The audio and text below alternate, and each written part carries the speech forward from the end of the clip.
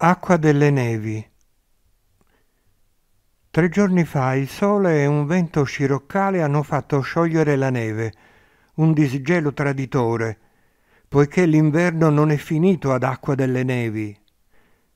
Abbiamo qualcuna delle nostre nevicate nel marzo e anche nell'aprile.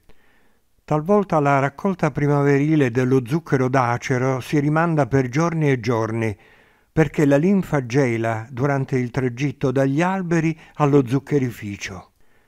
Oggi la valle è nascosta dalla nebbia e le montagne sono scomparse.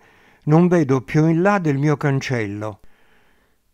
In questo periodo la vita di acqua delle nevi, il paesino dove mi sono incarnato, mi giunge direttamente, senza passare attraverso lo sforzo della mente, lo sforzo dell'analisi.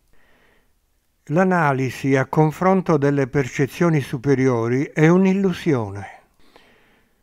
La mente può conoscere ciò che appare dell'incarnazione a cui è legata, ma non contiene le esperienze delle vite precedenti, le contiene la coscienza. Quando mio padre fece la recinzione della nostra casa colonica, includendo un gran tratto di prato e il gruppo di betulle bianche, mia madre lo criticò. Lei era di vedute ristrette, moralmente e materialmente. Esigeva recinti e fossati per difendersi dai ladri, che poi la raggiunsero lo stesso perché ognuno attrae ciò che teme. Tu non puoi andare a convivere con quella ragazza, mi disse mia madre quando le feci conoscere Evelina Frey, sebbene aggiunse i Frey sono un buon nome ad acqua delle nevi. In realtà mia madre non voleva che me ne andassi da casa.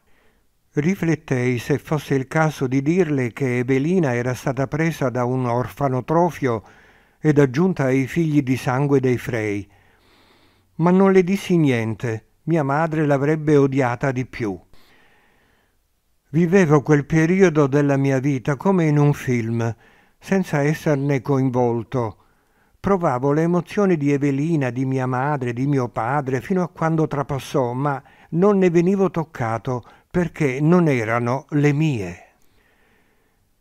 Però adesso, a metà della mia vita, a furia di ciò che ho vissuto e di quanto zucchero d'acero ho prodotto, ho scoperto perché.